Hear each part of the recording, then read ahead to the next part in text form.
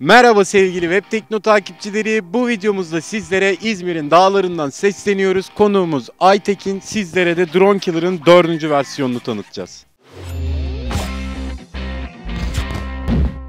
Kısaca bir bahsedelim aletten sonra direkt bir aksiyona geçelim. Çağdaş dronlar son zamanlarda çok ciddi teknolojilerle donatıldığı için biz de bunları takip ediyoruz. Yeni eklemeler yaptık silahımıza ve dördüncü versiyonunu Türk Silahlı Kuvvetleri'nin isterleri doğrultusunda geliştirdik. O zaman şöyle yapalım arkadaşlar. Öncelikle bir aleti size bir gösterelim nasıl çalışıyor ve o sırada da zaten üzerine de konuşacağız. Aytekin direkt aksiyona geçelim. Tamamen katlanabilir, modüler bir yapıda ayarlanabilir bir dipçik sistemi var. Bütün silah çerçevesinde 22 milim Picatinny rail var. Silahın bütün parçaları bu raylara tek bir el hareketiyle monte edilebilip sökülebilir.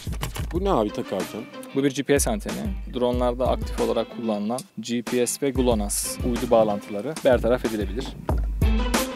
Birinci anten, ikinci anten ve üçüncü antenimiz. Ve canavarımız hazır.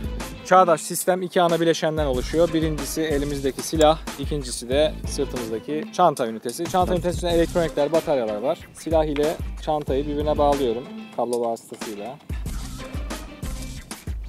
Arkadaşlar silahla ilgili tüm teknik bilgileri paylaşamadığımızda hemen bir belirtelim. Arkadaşlar şimdi Aytekin'le birlikte drone savarımızı hazırladık. Bir tane de drone hazırladık. DJI Phantom 4 kullanacağız. Çekimlerde hemen bir gösterelim. Zaten o sırada da anlatacağız sizlere. Evet şu anda Aytekin drone'u gözle göremeyeceğimiz bir noktaya kadar gönderdi. Hazırsanız açıyorum bu aleti. Açıyorum. Fanlar çalıştı, silahımız aktif ve şu an drone'u yakaladık. Gördüğünüz gibi ekranda da bağlantı kesilmiş durumda. Bırakıyorum. 4 saniye basılı tuttuktan sonra da silahın aktivasyonunu kesmiş oldum. Drone'un kontrolü tekrar tablette. Şimdi Aytekin bir de arkadaşlarımıza yakın çekimden gösterelim. Silah şu an benim elimde arkadaşlar. Aktif değil. Şu an drone'u da karşımızda görüyorsunuz. Tekrar açıyorum. Evet drone'la bağlantı kesildi şu anda. Gördüğünüz gibi drone ve şu anda iniyor.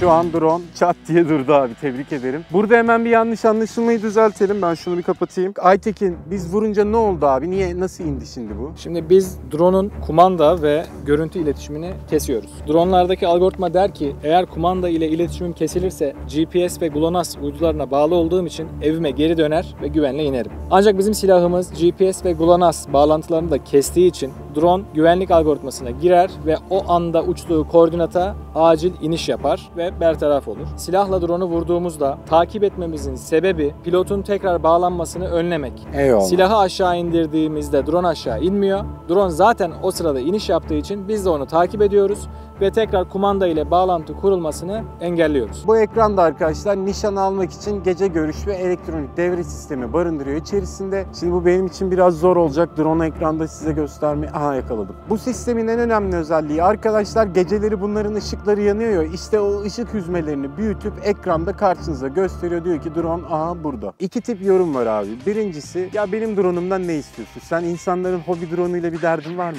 Bizim hobi yapan arkadaşlarla hiçbir derdimiz yok. Sivil Havacılık Genel Müdürlüğü'nün kurallarına uydukları sürece bizim silahımızla vurulma ihtimalleri yok. Bizim amacımız Phantom 4 gibi, Mavic gibi kolay satın alabilecekleri dronlarla kötü niyetli eylem yapabilecek kişilere karşı önlem almak. Zaten üzerinde patlayıcı olabilecek bir drone'u düşürmek, onun eylemine bir katkı olur. Bizim amacımız onun bütün iletişimini kesmek, kesinlikle pilottan bilgi almasını engellemek, uydu bağlantılarını bertaraf etmek ve olduğu noktaya indirmek. Bu sayede herhangi bir eylemin önüne geçmek. Peki menzili nedir abi bu ürünün? 1 kilometreye kadar bütün dronları çok rahat bir şekilde vurabilirsiniz. Çünkü çok yüksek bir çıkış gücüne sahip. Peki abi bu ürünün gücü nedir? Yani bu neyle çalışıyor? Kaç miliamper? Bu kablolar ne bu sırtımdaki? Şimdi sırtında bir elektronik ünite var. Silaha bağlı. O elektronik ünitenin içerisinde drone'u bertaraf etmek için gerekli olan frekanslar üretilip silaha aktarılıyor. Şöyle izah edelim. Bir Phantom kumandası 100 miliwatt çıkış gücü ile drone'a bağlanır. Senin kullandığın cihaz ise 120 wattın üzerinde bir gücü doğrudan drone'a yönlendiriyor. Doğal olarak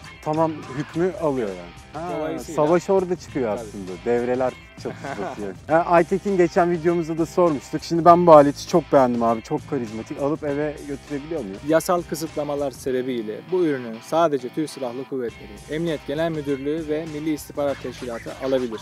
Eyvallah. Yine çok özel izinlerle bir takım kamu kuruluşları bu silahı alabilir. Vallahi Aytekin çok keyifli bir çekimdi. Havada güzel oldu. Temiz havada aldık. Son olarak şunu da ekleyelim bir. Şu düğmenin bas çalıştır olmasının bir triği var. Ondan bahsetmeni rica edeceğim. Askeri ekipmanlar zaten çok ağır ve zor şartlarda kullanıldığı için kullanıcıya tek bir düğmeyle sistemi açma, kapama, batarya takibi, sistemin e, otomatik olarak bütün işlemleri yapabilmesiyle ilgili yazılımsal destek veriyoruz. E o zaman Aytekin yavaş yavaş içeriğimizi sonlandıralım. Şunu tekrar belirtelim arkadaşlar. Bu tarz ürünlerde çok fazla teknik ayrıntıya giremiyoruz. Sizin bunu hoş karşılayacağınızı düşünüyorum. Nedenini de tahmin edeceğinizi düşünüyoruz buradan. E arkadaşlar artık videomuzu yavaş yavaş sonlandıralım. Bu vesileyle Harp Araştırma Geliştirme Şirketi'ne de teşekkürlerimizi sunalım. E artık başka bir web tekno videosunda görüşmek üzere. Videomuzu beğendiyseniz şuradaki beğen butonuna basmayı unutmayın. Hoşçakalın arkadaşlar. Her iki yanımda durmakta olan bağlantılara tıklayarak bambaşka web tekno videoları izleyebilirsiniz. Ayrıca şurada tam ortada bir abone ol butonu var. Ona da basarsanız kanalımıza abone olursunuz.